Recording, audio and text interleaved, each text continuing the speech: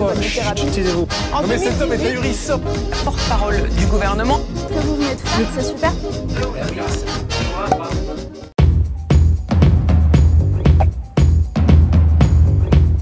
Et bonjour à tous, bienvenue pour ce nouveau débat du jour sur Juste Milieu. Et aujourd'hui, j'ai la chance, hein, l'honneur de recevoir Laurent Mukieli. Alors avant toute chose, Laurent, comment allez-vous? Merci, ça va pas mal. Et vous-même? Très très bien, formidable, hein, un vrai plaisir de vous recevoir. Alors Laurent Mukieli, vous êtes sociologue, comme vous allez hein, nous l'expliquer, spécialisé dans la sociologie de la délinquance et des politiques de sécurité. Vous avez eu des positions courageuses, parce qu'il en faut, pendant la crise du coronavirus, euh, sur le rôle des médias, la communication, une communication anxiogène, euh, ce qui vous a valu hein, euh, pour l'Express le titre de marchand d'espoir. Hein, donc euh, c'est quand même pas rien. c'est quand même pas rien. On va, on va revenir sur tout ça. Et donc avant, hein, avant de- de- d'aller vers les deux grands volets de notre échange aujourd'hui, donc un premier volet sur l'évolution de la délinquance en France et un deuxième sur le lien entre médias et coronavirus, le rôle des médias pendant cette crise sanitaire. Avant tout, peut-être quelques mots sur votre parcours et vos principaux travaux de recherche. Ok. Écoutez, l'essentiel, c'est de dire que je suis euh, chercheur au CNRS, donc c'est le Centre national de la recherche scientifique, euh, que, que je suis donc fonctionnaire d'État, que je n'ai absolument euh, aucun conflit d'intérêt ni lien d'intérêt avec aucune puissance, qu'elle soit politique ou économique. Très concrètement, que les gens comprennent bien. Donc, je suis fonctionnaire, je suis au top de, de ma carrière en termes de, de progression de, de, d'indices et de salaire, etc. Donc, j'ai absolument rien à rien à gagner dans, dans tout ça. Je dirais que même vu mes positions euh, anticonformistes, euh, j'aurais même plutôt des choses à perdre. Voilà. Donc, en tout cas, il n'y a aucune forme d'intérêt, je répète, euh, euh, ni politique, symbolique ou pécunier d'une manière ou d'une autre dans ce que je peux raconter. L'éthique de base de la recherche scientifique, c'est le désintéressement. Et euh, alors forcément, hein, les, les- les- positions que vous évoquez, ces positions qui effectivement aujourd'hui vous coûtent plus que ce qu'elles pourraient vous rapporter, sont euh, en lien avec bon, la- cette euh, crise sanitaire que nous traversons et qui apparemment n'est pas finie. hein. Je crois qu'on en a encore pour pour un certain temps, mais comme comme je disais en introduction, donc vo- votre principal thème de, de travail en sociologie est autour de la délinquance, du rapport à la violence. Alors ça va être le premier volet de, de notre échange sur cette évolution de la délinquance en France. Et une première question pour ouvrir cet échange avec vous. Euh, depuis 2013, on a eu, enfin en tout cas c'est un sujet prégnant en France depuis longtemps, mais en 2013 en tout cas, on a eu la sortie d'un livre qui s'appelle La France Orange Mécanique de Laurent Oberton, qui depuis a été utilisé un petit peu de partout, en premier lieu par Marine Le Pen bien évidemment, et qui depuis est toujours hein, le serpent de mer de ce débat politique de la question de la délinquance en France, un débat qui va naturellement revenir à l'approche des élections présidentielles de 2022. Mais une question simple, assiste-t-on aujourd'hui à une explosion de la délinquance en France? La réponse est simple, euh, c'est non en trois lettres. Voilà, et c'est pas peut-être un peu, je sais pas, j'hésite, machin. C'est juste non. Euh, c'est juste un tissu de bobards. Et qui plus est, ce sont des bobards très anciens. hein. Moi, je suis rentré donc au CNRS, comme je disais, en 1997, donc ça va faire bientôt 25 ans. Euh, et déjà, déjà à cette époque-là, et tout ça est écrit, donc euh, il y a les publications, euh, les archives qui témoignent de tout ça. Déjà à cette époque-là, j'entendais ce- ces discours-là, qui sont au fond un peu toujours les mêmes. hein. on va donc on va les résumer rapidement. Euh, les, délinquants sont toujours plus jeunes et toujours plus violents. Ok? Autrefois, il y, a- il y avait de la morale, des repères, je sais pas quoi, il y en a plus aucun. Ensuite, autrefois, c'était prétendument, hein, c'est le pseudo-diagnostic que j'énonce. Hein. Autrefois, prétendument, c'était que dans les villes. Aujourd'hui, même les campagnes seraient touchées. Hein. Vous savez, la, la vieille métaphore médiévale de la ville qui corrompt, la saine campagne, les vraies valeurs, la terre, tout ça, comme s'il se passait rien dans, dans, dans les campagnes.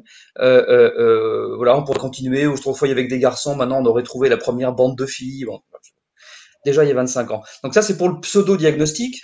Ensuite, il y a les pseudo-explications. Hein, qui en fait, quand on a posé les termes, posé la discussion en termes moralisateurs, ben, l'explication c'est plutôt la recherche du coupable. Hein. donc c'est comme ça que ça fonctionne dans le débat public. Donc à qui la faute?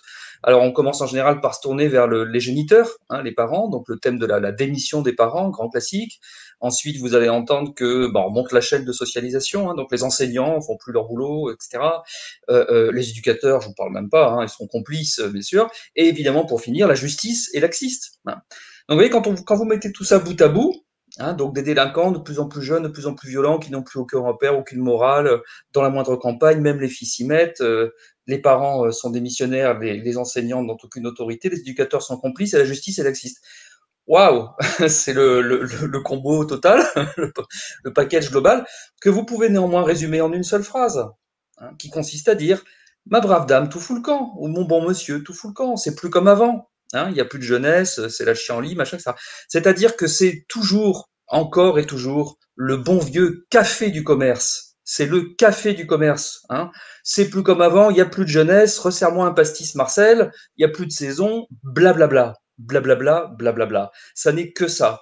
Alors ça peut, on peut faire des livres avec ça, comme a fait ce soi-disant monsieur Oberton, puisque c'est un pseudonyme, préfacé par un monsieur qui se fait appeler Xavier Hoffers, qui est aussi un pseudonyme pour cacher son vrai nom, qui est le nom d'un ancien militant hein, hein, du parti Ordre Nouveau, qui se situait à la droite du Front National, pour dire où on est. Hein, voilà, tout ça, tout ça, c'est du pipeau.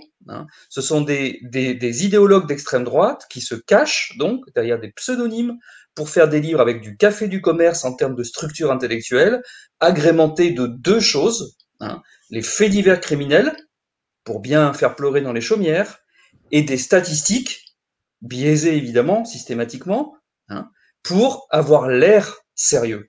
Hein, ce qui avec toute la, j'insiste bien, hein, sur l'énorme différence qu'il y a entre le fait d'être sérieux et le fait d'avoir l'air sérieux.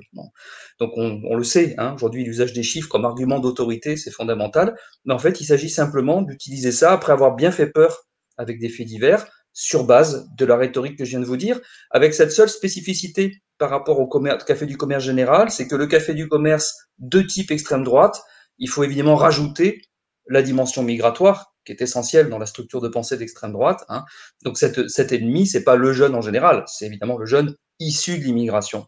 D'où euh, euh, ce livre et d'où la formule de Oberton reprise par Marine Le Pen, qui est l'ensauvagement hein, de la société. Les sauvages, c'est qui? C'est les jeunes issus de l'immigration, bien sûr. Donc c'est un discours très répandu, évidemment. Hein, je veux dire, il est incarné aujourd'hui dans l'espace euh, médiatico-politique, pas simplement par le, Front National, il est incarné par des gens comme, comme Zemmour aussi. Hein, c'est tout à fait, euh, tout à fait cet horizon de pensée là. Je répète, d'un point de vue strictement scientifique, c'est nul et non avenu. Après, chacun est libre de s'exprimer dans un pays qui est une démocratie, et je suis un grand défenseur de la liberté d'expression. Donc, euh, je défends tout à fait l'expression des idées d'extrême droite. Il n'y a pas de souci. Mais d'un point de vue scientifique, c'est nul et non avenu. Faut juste pas confondre les registres et pas nous faire prendre les vessies pour des lanternes. Et, justement, vous, que répondez-vous euh, à travers votre travail? Quelle, euh, quelle, euh, quelle, réalité concrète opposez-vous à ce discours-là qui effectivement devient, devient dominant? On a l'impression, médiatiquement en tout cas, on reviendra sur cette bataille, sur le terme d'ensauvagement, on y reviendra après, mais vous, à travers votre travail, quelle réalité avez-vous saisi et qui s'oppose justement à ce discours qui, d'après vous, est factice? Alors, D'abord, il faut expliquer comment on travaille quand on fait de la, recherche scientifique authentique. Encore une fois, on se se contente pas de compiler, enfin, on, on fait jamais, c'est pas qu'on se contente pas, on ne fait jamais ça, compiler des faits divers, euh, ce qui n'a pas de sens, et, euh, prendre des bouts de chiffres qu'on ne connaît pas, qu'on n'a pas soi-même, qui sont pas issus des enquêtes qu'on a faites soi-même, etc., pour, pour donner du, essayer de donner du crédit à ça. Bon. Donc évidemment, voilà, ça c'est pas du travail. Ça, c'est, ça, ça n'est pas du travail, c'est pour nourrir de l'idéologie. Le travail, en, en, quand on fait de la recherche scientifique, ça consiste ben, soit à observer en direct des phénomènes, ce qui est parfois compliqué quand on, quand on parle des questions criminelles, hein, soit ensuite à euh, étudier les procédures judiciaires. Ce qu'on peut faire, moi, au début de ma carrière, par exemple, j'ai voulu étudier les homicides. Il y avait mmh très peu de connaissances en France sur les homicides, qui tue qui et pourquoi, tout simplement. Bon. Et pour le faire, la bonne méthode, c'est pas d'aller compiler des faits divers qu'on va choper sur Internet en faisant un copier-coller ou en imprimant des, pages d'articles internet. Enfin voilà, ça c'est pas sérieux. Ça c'est c'est bien pour faire un pressbook, mais c'est pas de la recherche, c'est pas de la science. Voilà. Donc nous on copie pas les sciences. Par contre, on, on fait bah, euh, exemple, hein, euh, euh, c'est pas pour parler de moi, mais c'est pour vous donner un exemple de ce qu'on peut faire. J'étudie les homicides, bah, je me rends dans euh, la juridiction la plus proche de chez moi. J'étais à l'époque en région parisienne. J'obtiens l'autorisation de dépouiller les archives judiciaires et j'ai étudié. À l'époque, c'était j'habitais dans les Yvelines. c'était donc la, la, la cour d'appel de Versailles, mon point de repère, et j'obtiens l'autorisation d'étudier les archives criminelles de la cour d'appel de Versailles. Et j'ai étudié en l'occurrence tous les homicides jugés pendant dix ans euh, euh, euh, au tribunal judiciaire, comme on dit aujourd'hui, de, de, Versailles. Ça correspondait, je crois, à 105 affaires criminelles. les affaires jugées aux assises, c'est des, ça peut être plusieurs mètres cubes d'archives. Hein, ça m'a pris une année entière de, de, dépouiller tout ça. Mais quand on arrive, on peut dire quelque chose de sérieux sur c'est quoi les homicides, qui tue qui, les auteurs, les victimes, pourquoi, comment, etc. Voilà. On peut faire ça sur, surtout la délinquance juvénile. J'ai une doctorante qui a soutenu il y a presque deux ans maintenant sa thèse euh, où là aussi, grâce à l'autorisation de, de, de, la protection judiciaire de la jeunesse, elle, elle, a étudié les dossiers de plus de 1800 adolescents délinquants. Voilà, les dossiers entiers avec leur histoire familiale, leur histoire scolaire, etc. Quand on fait ça, on peut se permettre de parler de ces choses-là. Voilà, le reste, c'est du blabla ou c'est autre chose, mais voilà, faut pas confondre. Alors, vous, vous me disiez en deux mots, qu'est-ce qu'on en retire? Ben, La première chose, c'est la grande stabilité des, des, des constats. Hein, je veux dire, le, le, ça c'est quelque chose de très, important. La deuxième, c'est que il n'y a, pas de mystère en réalité, euh, euh, euh, et il y a une très grande différence entre les imaginaires et la réalité. Les imaginaires, ce qui fait peur et ce sur quoi jouent les rhétoriques sécuritaires et les rhétoriques d'extrême droite, ça consiste à dire au fond, voilà, des espèces de menaces qu'on comprend pas bien, planent sur vous à chaque coin de rue, etc. Pas du tout. Ce que montrent nos travaux sur, les... j'ai pris le cas des homicides, la délinquance juvénile, le, le, les violences sexuelles, les viols, etc. Ce que montrent nos travaux, c'est d'abord que les choses se produisent principalement dans la sphère de l'interconnaissance. Hein. Le, premier, type de meurtre, c'est le meurtre conjugal. Le premier type de viol, c'est l'inceste. Euh, euh, euh, ce que les gens ne savent pas, mais voilà, parce qu'on a l'imaginaire, vous savez, de la ruelle obscure, la nuit, le pas derrière vous, vous accélérez, hop, et l'assassin ou le violeur, si vous êtes une femme inconnue, vous égorge sous le petit pont, euh, etc. Vous criez, personne ne vient. Ça, en fait, c'est un cauchemar, mais c'est pas la réalité. C'est un rêve, un mauvais rêve. Hein. C'est la peur des petits enfants, la peur du loup, la peur de. Autrefois, c'était les revenants qui vous attendent la nuit, comme ça. Mais ce sont des peurs. La réalité, c'est pas ça. Hein. La réalité, c'est des choses beaucoup plus concrètes, beaucoup plus sordides, beaucoup plus tristes, qui sont, qui se produisent en plus principalement, pas du tout exclusivement, mais pour, pour ce qui est des homicides dans, dans, dans les milieux euh, plus pauvres, en, en, lien très fort aussi avec le avec l'abus d'alcool. Euh, euh, voilà, Monsieur Michu tapait Madame Michu, tout, mon, tout le voisinage est au courant depuis des années. Ils sont souvent alcoolisés, bien bourrés. En fait, tous les deux aussi vivent dans un petit HLM pourri. Alors évidemment, c'est pas très. Vous voyez, vous faites pas un, un, vous faites pas un scénario de, de de blockbuster américain ou une super série TV euh, en France avec ça. Mais la réalité, c'est ça, ce que savent d'ailleurs tous les policiers et les gendarmes. Hein. Voilà, la première question qu'on se pose toujours dans une enquête, c'est à qui profite le crime. Donc il n'y a pas d'inconnu là-dedans. Donc ça, ça c'est un résultat de recherche très important, l'interconnaissance.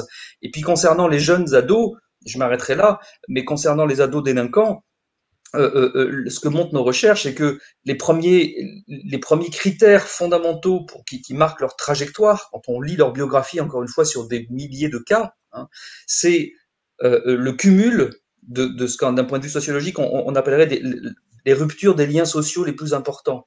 Alors concrètement, les premières ruptures qu'on constate, ce sont les ruptures familiales. Hein, la première caractéristique de l'histoire des jeunes délinquants, c'est qu'ils viennent de familles très conflictuelles et que même dans au moins un cas sur deux, puisque c'est une fourchette minimale, dans au moins un cas sur deux, ils ont été eux-mêmes euh, euh, victimes de, maltraitance lorsqu'ils étaient enfants. Ça, c'est une première dimension, donc déjà une première grosse, grosse fragilité qui est familiale. Et puis la deuxième qui arrive derrière et qui est plus forte encore statistiquement, qui est l'échec scolaire. Et alors quand vous cumulez un, troisième facteur qui vient ensuite, qui est le fait d'habiter un quartier très pauvre, a fortiori un quartier très pauvre où il y a déjà une activité délinquante importante, une offre en quelque sorte délinquante importante, qui va du coup aspirer les jeunes en échec. Quand vous cumulez ces facteurs-là, ben vous expliquez l'essentiel des problèmes. Et ce que nous montrons aujourd'hui, avec ce que sont les jeunes qui habitent les quartiers pauvres d'aujourd'hui, c'est ce que montraient mes collègues chercheurs sur la délinquance juvénile dans les années 60 avec les jeunes des quartiers pauvres de l'époque, qui pour la plupart d'entre eux n'étaient ni noirs ni arabes, pour dire les choses. Ces mêmes facteurs psychosociaux, ce sont eux qui sont les causes importantes et qu'on retrouve à toutes les époques et à toutes les générations, quelle que soit l'origine et la couleur des gens qui habitent les quartiers pauvres de cette époque-là. Voilà.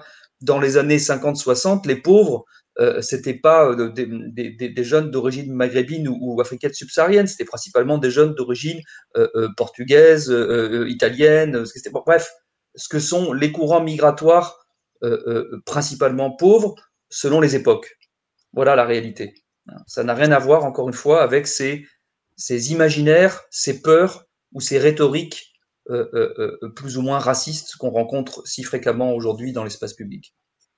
Et effectivement, ce que vous dites est très précieux parce que ça éclaire un, débat qui est extrêmement polarisé. En fait, pour, grossir le trait, on peut dire qu'on a médiatiquement et politiquement un discours qui va de l'ensauvagement, ce que disait Gérald Darmanin par exemple, au sentiment d'insécurité, ce qui est plutôt la ligne d'Éric Dupont-Moretti, ministre de la Justice. Mais vous, euh, quel arbitrage proposez-vous pour l'opinion publique, pour le citoyen français lambda qui se retrouve face à ces deux réalités-là proposées, en tout cas par voie médiatique euh, Et il y a aussi ce que Mathieu Kassovitz qualifiait de faits divers, mais ce qui, est aussi, ce qui, sont aussi des crimes atroces. Je pense à Philippe Monguillot, ce chauffeur de bus assassiné du côté de, Bayonne. Je pense à Axel Dorier. Je pense à toutes ces affaires terribles qu'on a vues en France et qui effectivement sont interprétées d'un côté par l'ensauvagement et de l'autre côté par euh, le sentiment d'insécurité. Vous, euh, Laurent euh, quel arbitrage faites-vous? Alors, il y a plusieurs choses essentielles là aussi à savoir si on veut, si on veut effectivement comprendre ça. Première chose essentielle à savoir, il y a en France chaque année, depuis une dizaine d'années, entre, pour arrondir, entre 8 et 900 homicides chaque année. Ok?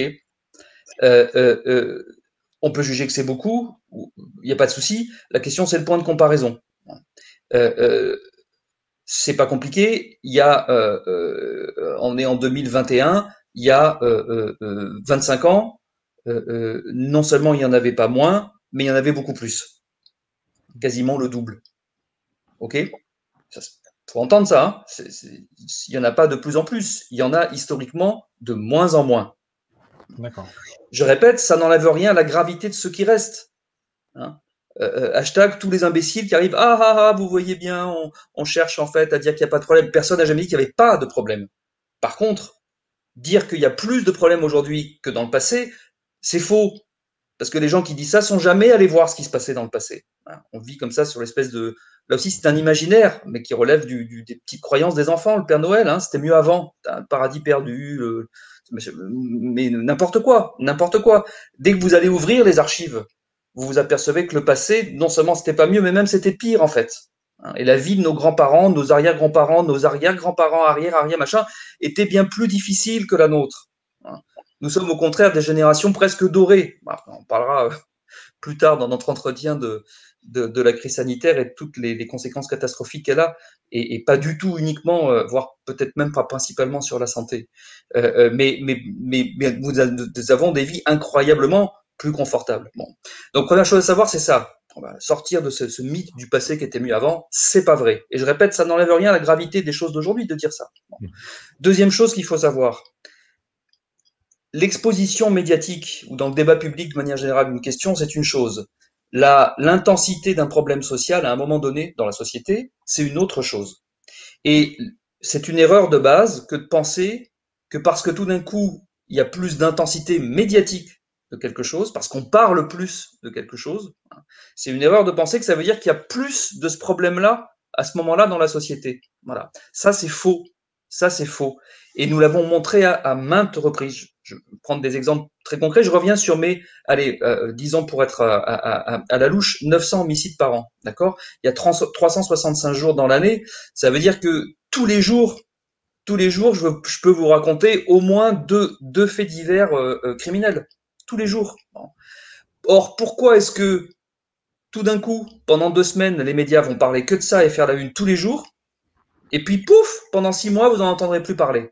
Jusqu'à la prochaine panique, où à nouveau, pendant quelques semaines, on parlera que de ça. Là, il, y a, un mois et demi, deux mois, c'était les bandes.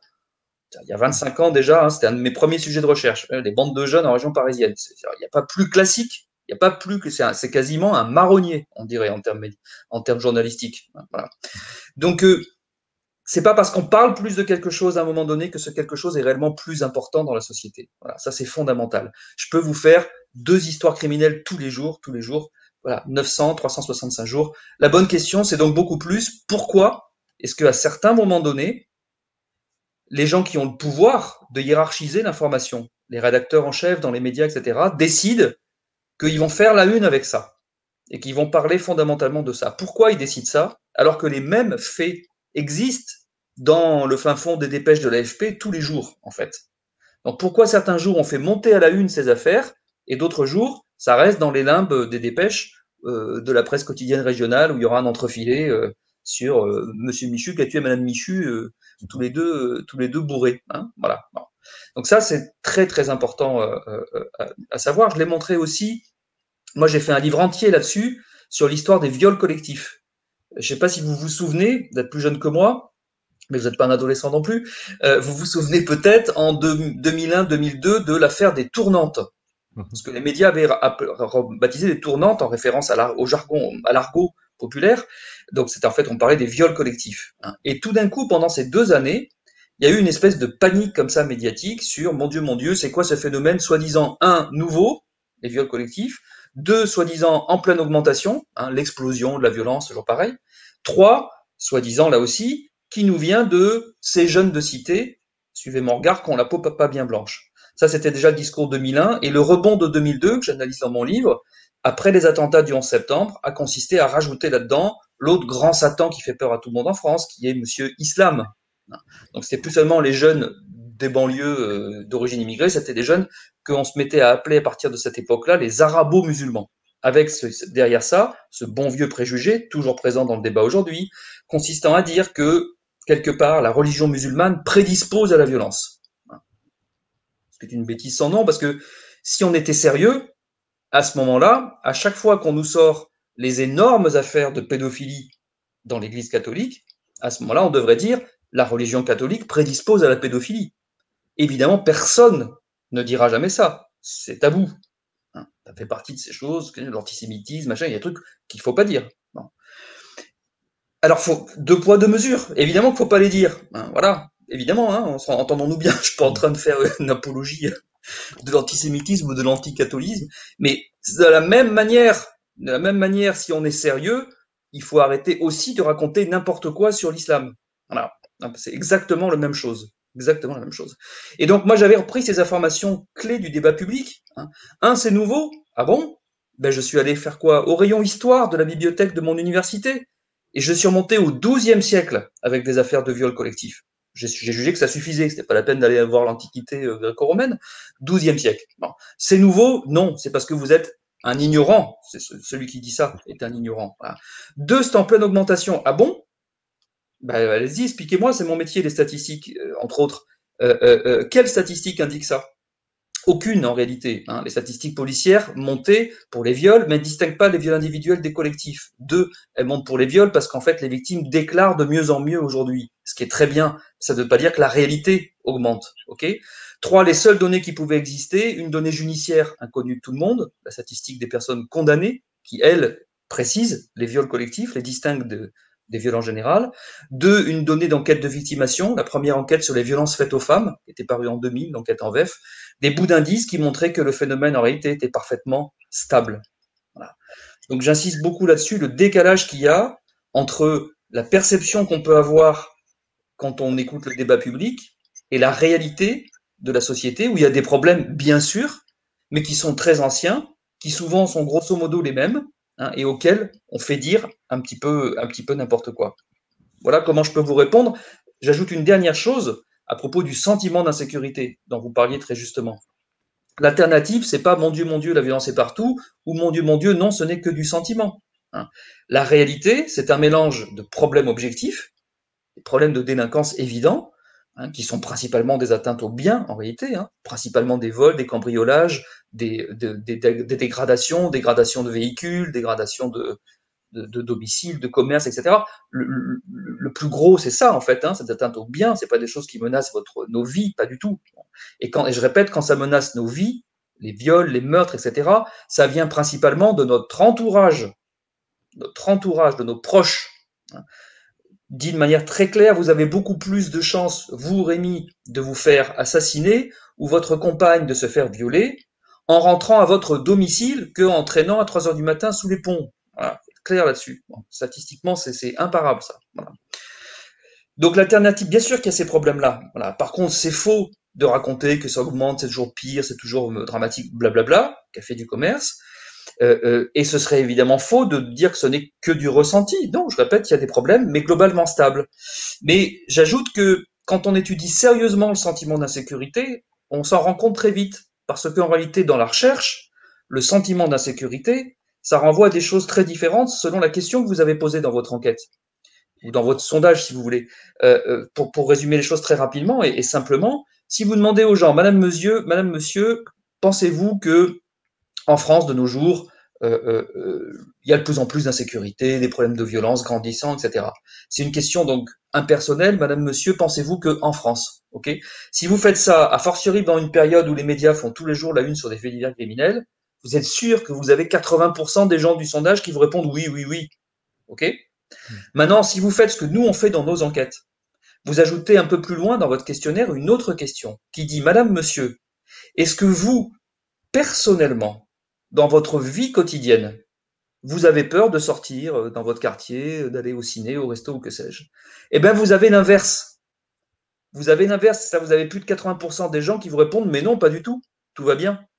Vous voyez? C'est hmm. toute la différence qu'il y a entre les représentations générales, ben, qui dépendent de euh, ben, ce qui se dit à la télé, ce qui se dit au café, ce qui se dit machin, et puis l'interrogation de la vraie vie des gens, qui, je répète, dans leur immense majorité, vivent très bien et n'ont pas de problème ni de sécurité, ni de sentiment d'insécurité. Et en amont, donc là, vous venez nous donner beaucoup d'éléments sur la question de la délinquance, de la violence, donc ce qui se situe en amont. Et en aval vient la question de la sanction, donc des peines qui sont aujourd'hui appliquées en France. Et sur ce point-là, récemment, on avait eu la manifestation des policiers le 19 mai, cette formule qui avait fait la une de beaucoup de journaux. Le problème de la police, c'est la justice. Sur ce point-là, vous, qu'en pensez-vous et que montre votre travail là encore? Ouais. Alors, il y a plusieurs choses. D'abord, sur le, discours de certains syndicats de police, hein, euh, euh, le leader de la dernière manifestation, c'était le syndicat Alliance, d'accord? Qui est le syndicat euh, alors selon les élections, ils sont deux. Il y, a, il y a SGP, Unité Police et Alliance qui sont en concurrence. Et selon les élections, il y en a un qui a un tout petit peu plus que l'autre. Bon, voilà, ils, se tiennent, ils se tiennent et, ils se tirent un peu la bourre concrètement. bon, entre eux. Alliance, c'est le, syndicat le plus extrême droitisant dans la police. Ok? Donc le discours dominant de cette manifestation, c'était celui-là. Il faut être clair, mais il faut pas non plus assimiler tous les policiers et les gendarmes à cette opinion-là même si elle est très importante, notamment chez les gardiens de la paix, manifestement. Deuxième chose à dire, c'est qu'elle repose quand même sur euh, euh, quelque chose qui est un vrai problème pour la démocratie en France, le fait qu'un certain nombre de policiers ne veulent pas comprendre que la police est séparée de la justice et que ce n'est pas la même personne qui constate les crimes et qui les juge et que c'est heureux que ce soit ainsi, car c'est une des caractéristiques de la démocratie. Il n'y a que dans les dictatures où les policiers constatent mais, et, peuvent aussi formuler des sanctions, hein, et, où il n'y a pas de, de vraie justice et où les droits de la défense sont bafoués, etc. C'est une différence fondamentale entre la démocratie et la dictature. Donc ces policiers qui ne comprennent pas ou font semblant de ne pas comprendre ça sont des gens dangereux pour la démocratie. Je veux être bien clair là-dessus et je m'adresse notamment à ces policiers et à ce syndicat Alliance. La deuxième chose qu'il faut dire, c'est que si on se tourne maintenant non plus vers les rhétoriques syndicales et politiques, hein, mais vers l'observation du métier. Le métier de policier qui a ses vraies difficultés et surtout qui a ses vraies euh, euh, frustrations. Ça fait partie de ces métiers que moi j'appelle les métiers de première ligne du social, où les gens toute la journée prennent en pleine figure les problèmes de la société et les drames humains de la société et les souffrances de la société. C'est vrai des policiers euh, de, des gendarmes de base, hein, comme c'est vrai euh, des pompiers, des médecins urgentistes, etc. Voilà, euh, des, des, des, éducateurs dans, dans, dans, les foyers d'urgence, etc. Tous les gens qui prennent encore une fois en pleine figure tous les jours les drames humains terribles qui sont qui font partie de la réalité. Ce, sont des métiers qui créent d'énormes frustrations. La frustration principale, c'est que vous intervenez en urgence, vous essayez de solutionner sur place tout de suite dans l'urgence, en tout cas de faire cesser un problème, mais en réalité, vous n'avez rien résolu, et vous le savez très bien. Et tous les jours, les mêmes problèmes viennent, un problème en chasse un autre, une urgence en chasse une autre, et en fait, ce sont des situations qui sont épuisantes, épuisantes moralement, parce que vous avez le sentiment d'être face à, euh, euh, c'est le rocher de Sisyphe, vous savez, voilà. tous les jours, ça continue, ça enchaîne, vous résolvez rien du tout, ça revient tout le temps. Donc ça donne un sentiment terrible, un sentiment terrible d'impuissance et, et, de fatigue morale. Ça, c'est important à savoir parce que euh, j'ai dénoncé les gens qui, font exprès de dire des, bêtises, et puis il y a aussi des gens qui font pas exprès, mais qui juste expriment en fait leur souffrance professionnelle, leur sentiment d'impuissance, leur fatigue morale. C'est un discours que je connais très bien, que j'ai rencontré dans tous les métiers. J'ai beaucoup travaillé aussi avec les éducateurs qui peuvent en venir aussi dans certaines situations à dire ouais c'est de plus en plus dur et ouais c'est la faute des gamins c'est plus en, fait c'est parce qu'ils se rendent pas compte qu'ils sont en état d'épuisement moral dans leur métier et qu'il est temps qu'ils changent peut-être euh, qui, qui, qui, qui, fasse une mutation, qui voilà. Ce sont des métiers où, il il faut pas passer toute sa vie, sinon on, on, finit complètement laminé. Hein, la plupart des gens, c'est normal, voilà, c'est normal. Donc il y a des frustrations professionnelles et en l'occurrence le métier de policier, bien sûr qu'il y a des frustrations et elles sont constitutives du métier de policier. Il interpelle quelqu'un, il est persuadé, ou peu importe une ou plusieurs personnes, il est persuadé que c'est le coupable des faits qui sont reprochés, il fait sa procédure et peut-être, peut-être que sa procédure ne donnera pas la sanction que lui aurait espérée. Et c'est frustrant, oui. C'est constitutif. C'est la règle du jeu. Si, si tu la supportes pas, j'ai envie de dire aux policiers, si tu supportes pas cette règle du jeu, il faut que tu changes de métier. C'est pas la règle du jeu qui est le problème, c'est toi qui es le problème. La police et la justice sont deux fonctions séparées. Et c'est normal en démocratie, je le répète. Voilà. Donc il y a une frustration inhérente au métier de policier qui est parfaitement compréhensible. On partage, je veux dire, on se met à la place d'eux, vous, moi, on y serait, je pense qu'on aurait la même frustration, bien sûr. Si, a fortiori, si je suis confronté à quelqu'un dont, vraiment au fond de moi, je pense que c'est vraiment un salopard, une crapule, bien sûr que je serais frustré si, si je vois que ce que moi j'espère comme sanction, c'est pas ça qui arrive. Voilà. Mais il y a plein de raisons, et qui sont principalement des bonnes raisons pour lesquels ça ne, va pas arriver peut-être la sanction espérée. Voilà. Il est normal que la justice vérifie le sérieux d'une procédure. Il est normal que des avocats la fassent, euh, la, annuler si elle n'est pas sérieuse, si elle n'est pas conforme au droit et à la procédure pénale. C'est normal. C'est le contraire qu'il ne le serait pas. Voilà. Enfin, troisième façon de répondre à votre question, ce blabla sur la justice laxiste qui se cache derrière encore une fois, c'est des gens qui ne sont pas allés voir les données qui disent ça. Ce n'est pas vrai. Il faut regarder, en l'occurrence pas compliqué, vous allez sur le site du ministère de la Justice, www.justice.gouv.fr. je ne vais pas lui faire de pub, mais c'est une source.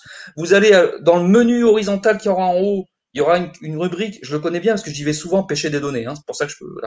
Vous irez dans le menu en haut, vous regarderez publication, vous cliquerez sur l'onglet, il vous proposera une série de choses. La première, c'est statistiques vous cliquez sur statistiques et vous avez toutes les données du ministère de la Justice. En particulier, vous avez ce qu'on appelle le volume des condamnations, c'est-à-dire toutes les condamnations prononcées par les tribunaux français chaque année et qui sont enregistrées au casier judiciaire. C'est la source la plus sûre et la plus exhaustive.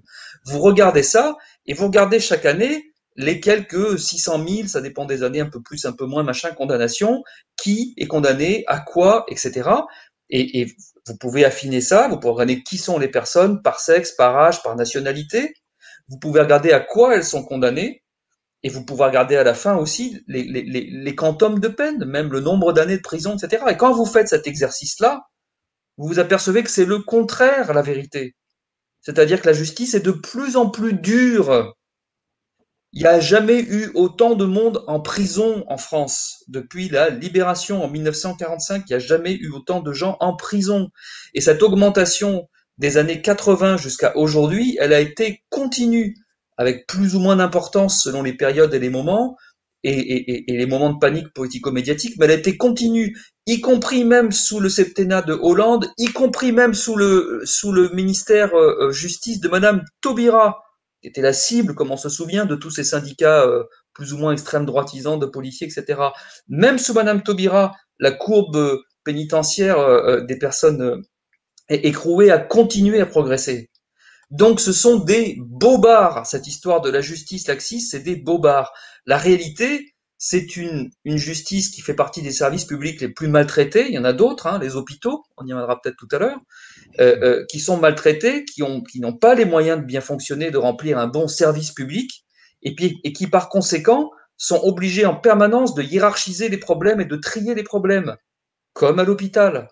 Bon, ce qui est fatal. Si vous avez les moyens de faire trois actes et qu'on vous dit il y en a dix dans la pile, vous allez chercher à prioriser forcément et à prendre les trois plus urgents ou les trois plus graves. C'est normal, n'importe qui ferait ça. Donc la justice, c'est pareil, bien sûr, elle essaie de se débarrasser le plus possible des petits problèmes pour se concentrer sur les plus graves. Ça, c'est intéressant à analyser. On peut montrer comment effectivement la justice, mais la police aussi d'ailleurs, répond très peu aux petits problèmes du quotidien. La vie quotidienne est faite principalement de ce qu'on appelle les incivilités en fait les dégradations, les injures, l'agressivité verbale, etc. C'est ça le quotidien. Le quotidien, c'est pas de se faire cambrioler, de se faire violer ou de se faire tuer, pas du tout, pas du tout. Bon. Eh ben ces incivilités, c'est vrai que les institutions en France y répondent très peu. Mais c'est un problème global en fait, ça. Ça concerne tout autant la police, non seulement les polices nationales, mais également les polices municipales aussi. C'est tout ce problème-là à ce moment-là qu'il faudrait poser sur la table. Voilà. Mais en tout cas, ce petit jeu, je termine là-dessus, ce petit jeu de ping-pong, moi je suis parfait, mais c'est la faute de l'autre, euh, le méchant c'est lui, euh, la justice c'est ceci, blablabla, ça vaut que qui. Et si on, si on regarde avec un, zoom un petit peu plus grossissant sur la période actuelle, quel est, selon vous, l'impact du contexte sanitaire sur la violence? On apprenait dans le monde le, 27 juillet, par exemple, qu'au cours des deux derniers mois, le solde des personnes incarcérées avait bondi de 2587 personnes, un rythme jamais vu depuis la Seconde Guerre mondiale. Est-ce que, d'après vous, euh, on peut parler de phénomène de décompensation dès maintenant, ou est-ce que là encore, il faudra prendre le recul suffisant pour interpréter euh, cette situation-là? Hmm. Alors, oui, oui, forcément, il y a des choses euh, qu'on ne verra que plus tard, ça c'est certain. À ma connaissance, il n'y a aucune étude publiée pour l'instant. J'en ai, encore reviewé une dans une, des revues scientifiques dont, je suis membre du comité de rédaction il y a très peu de temps, qui était une étude suisse qui franchement a, a, voilà, a apporté vraiment vraiment pas grand chose. Donc il y a, il y a pour l'instant il n'y a pas de, d'études scientifiques sur ce qui s'est passé exactement, mais j'ai même envie de vous dire ça prend du temps effectivement la recherche scientifique. Il on manque aussi de données sur ce qui s'est passé pendant toute l'époque des gilets jaunes aussi. Hein. Et il y, a, il y a des choses à analyser sur les phénomènes de violence et, on n'a pas voilà on manque de choses hein, encore. Euh, euh, en particulier du côté de, enfin des deux côtés, que ce soit gilets jaunes, violence policière, voilà, on, manque de données. Donc la seule chose qu'on peut dire sur la, sur, sur de, de, depuis la crise sanitaire, c'est qu'il y a, deux choses qui sont très claires. La première, c'est que pendant les périodes dites de confinement, surtout la première qui a été la plus, la plus sérieuse, la plus suivie, sérieuse au sens, euh, au sens que les, mesures étaient très restrictives, il y a eu du coup un, dans ces moments-là une très forte baisse de ce que les policiers et les gendarmes appellent la délinquance de voie publique. Et pour cause, s'il n'y a plus personne sur la voie publique, bah, il n'y a plus non plus les phénomènes de délinquance qui y sont liés. Hein, la délinquance, c'est quelque chose qui fait tout à fait partie, partie intégrante de la vie sociale, qui est adapté au rythme de la vie sociale. Voilà, il y a des vols. Euh, euh, concrètement, vous partez le matin travailler en prenant les transports en commun, il y a d'énormes flux de population il y a plus, il y a plus de vols dans les transports en commun. Si vous y allez en voiture, il y a plus de flux d'accidentologie le matin euh, lié, lié, à tous les gens qui prennent la voiture et qui partent euh, se dépêcher au travail. Euh, pendant que vous êtes parti dans votre maison, ben, il peut y avoir des cambrioleurs qui viennent principalement dans la journée quand vous n'y êtes pas, etc. Bon, voilà, la délinquance, elle est logique, elle fait partie de la société. Il faut la comprendre comme partie intégrante des choses, en fait. C'est pas un monde à part de gens euh, bizarres qui sortent la nuit euh, avec des têtes de vampires. Hein, voilà, pas du tout. C'est des choses qu'on peut comprendre de manière très, très, très, très rationnelle, en fait. Bon. Donc, euh, euh, s'il n'y a plus personne sur la voie publique, ben, il n'y a plus de vol sur la voie publique. Si tout le monde est chez soi, ben, il n'y a quasiment plus de cambriolage, etc., euh, etc. Bon. Donc ça, c'est bien clair, les phénomènes de baisse pendant les confinements, qui sont en général suivis de phénomènes de plus ou moins importants rattrapage. Hein. Ça vaut aussi pour ce que vous m'avez dit de, la dimension pénitentiaire. Oui, il y a, eu aussi des phénomènes de rattrapage en fait là. Hein. Pendant les périodes de confinement, il y, y, a des directives qui ont été données aux chefs d'établissement pour essayer au contraire de, de, de, libérer le plus possible les personnes qui étaient libérables, hein, de manière à éviter de, de concentrer, de faire des clusters en prison. Bon, donc il y a eu plus de, de, de, libération de gens qui étaient sur le point de l'être, hein, entendons-nous bien évidemment. Euh, euh, euh, et puis, bah, il y a eu des phénomènes de rattrapage après, de même qu'il y a eu moins d'incarcération, a fortiori en urgence, hein, à l'issue des comparutions immédiates pendant les périodes de confinement, puisqu'il n'y avait plus d'activité. Bon, voilà. Donc, ce sont simplement des phénomènes de rattrapage. C'est pour ça qu'il faut regarder des périodes assez longues si on veut se rendre compte des évolutions et jamais, jamais de courte durée. Donc ça, c'est le premier effet, le phénomène de rattrapage qui, à mon avis, mérite pas plus de commentaires que ça. Et puis, il y a une deuxième chose, mais qui est en partie inconnue, qui est qu'est-ce que, euh, qu'est-ce que la, mise en tension générale de la société qu'a provoqué la gestion politique de la crise sanitaire, hein, euh, qu'est-ce que ça a provoqué chez les gens? Euh, Moi, j'avais, fait une petite interview qui a été, comme d'autres, censurée hein, par, par, par, les médias l'été dernier. Euh, en l'occurrence, c'était le journal La Croix qui l'a censuré, qui me demande, hein, j'avais rien demandé, qui me demande une interview sur le sujet qu'on discute là. Et quand j'analyse ce qui se passe et que je dis une des questions qui se posent, c'est le, le, niveau de tension et d'agressivité qu'on peut rencontrer dans la vie quotidienne du fait des gens qui sont euh, euh, euh, en, fait qui sont mis en, état de peur et de panique par le, discours gouvernemental, parce que moi je constatais comme d'autres dans la vie quotidienne de l'été dernier, dans la rue, à la plage, des, des scènes de violence verbale le plus souvent qui parfois pouvaient dégénérer, qui étaient liées à ça, qui étaient liées aux fameuses, euh, aux, fameuses distanciations sociales, aux fameux, aux, gestes barrières, euh, aux, masques, etc. Et, de gens qui s'embrouillaient euh, en, en, venant aux insultes et dans certains cas que j'ai vu de mes yeux, mes yeux vus, hein, en venant en en venant aux mains pour ces, pour ces raisons-là.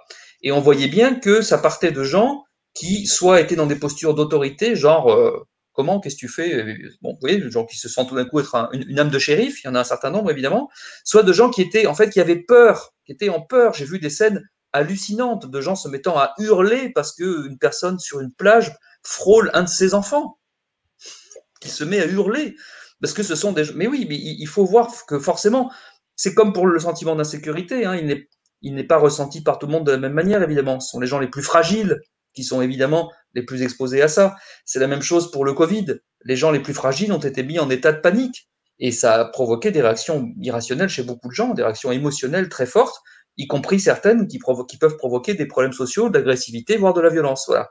Donc je disais ça, ça a été censuré. C'était pas poétiquement correct de, dire ça. Voyez, voilà. Mais donc on ne sait pas. Je termine là-dessus parce que je, incapable de, chiffrer ces choses-là, etc. Mais comme pour les gilets jaunes, je répète, qu'est-ce qui, qu'est-ce que ça a eu comme conséquence un peu plus globale, etc. On, manque vraiment encore de, recul et de données là-dessus. Cher Laurent Mukeli, on arrive à la, fin hein, du premier volet de notre échange, euh, donc sur cette question de la, violence, de la délinquance en France. Et ce que vous nous dites est vraiment extrêmement intéressant parce qu'on a un, regard différent sur ce qu'on peut entendre au quotidien.